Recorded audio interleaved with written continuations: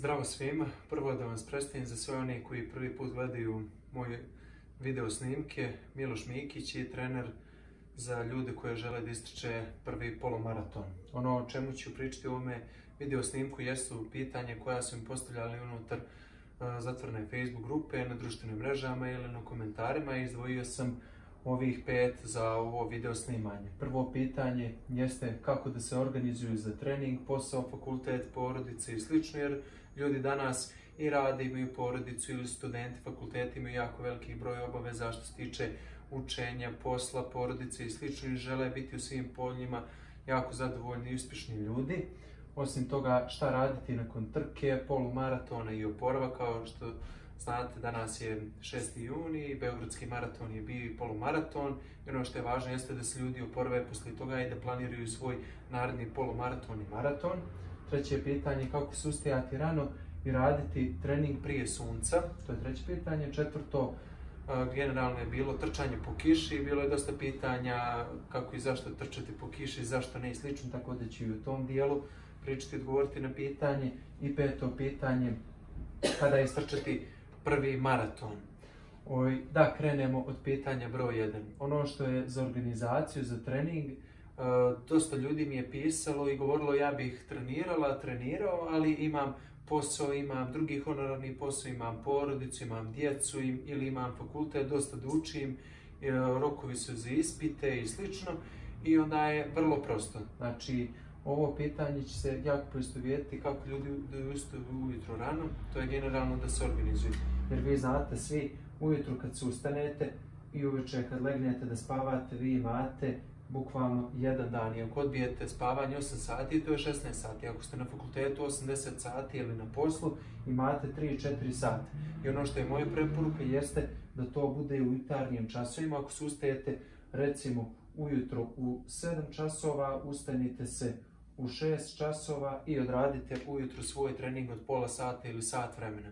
Naravno, za sve oni koji su tek početnici, treninzi su mnogo kraći i onda apsolutno žrtvujte sat vremena sna i kasnije vremenom kad bude suste za umor, vi ćete i ranije da legnete. Jer obično uzrok zašto se ljudi rano ne mogu probuditi, zato što ostanu do kasno budni. Tako da za to vrijeme jako je bitno da organizujete trening, da vi izmislite i da vi nađete to vrijeme. Vremena uvijek ima, ali ga vi morate stvoriti za vrijeme treninga. Niko vam drugi ne može to pomoći u sebi, nego samo vi da poslužite koje su vam obaveze bukvalno od ujutru do naveče i da nađete blok vremena, odnosno sat vremena, pola sata za trening. Što se tiče šta raditi nakon trke, s obzirom da je bio danas polumaraton maraton kao što sam prije rekao, jako je važno da danas kada ste istrčali vaš polumaraton ili maraton, narednog dana je jako važno da odradite trening.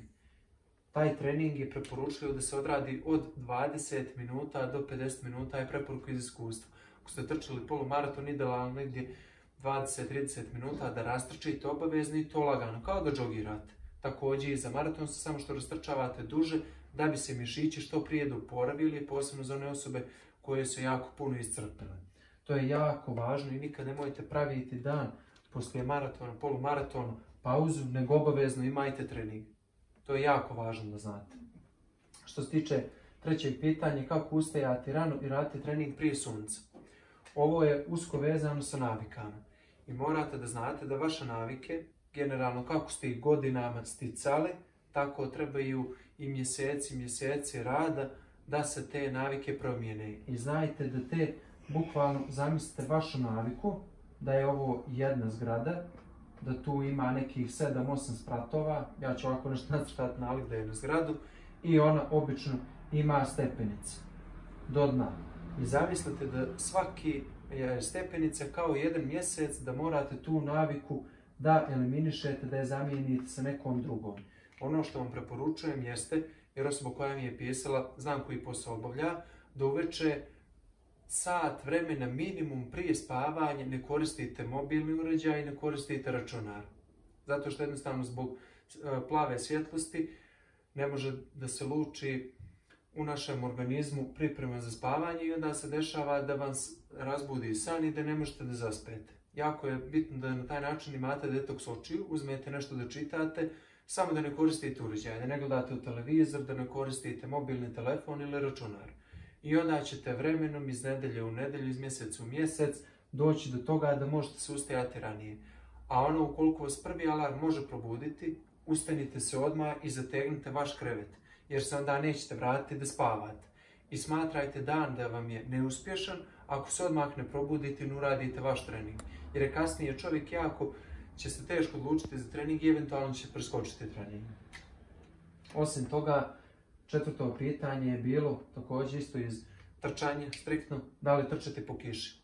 Jako je važno da znate da kada pada kiša, posebno u ljetnim mjesecima, ako se desi i poslije sunca padne kiša, ono što je dobro da podignete vašu tjelesnu temperaturu jeste da bukvalno radite e, vježbe snage ili kor nekih 10 minuta do pola sata kako biste podigli tjelesnu temperaturu i bili spremni za nižu temperaturu i za kišu koja je vani. Preporučujem da uzmete kačket, da uzmete šuškavac gore, a ako ste zimomorni bojite se da ćete prehladiti, uzmete helanke koje će generalno vam olakšati da ne bude nešto pamučno dolje i gore nego od sintetike.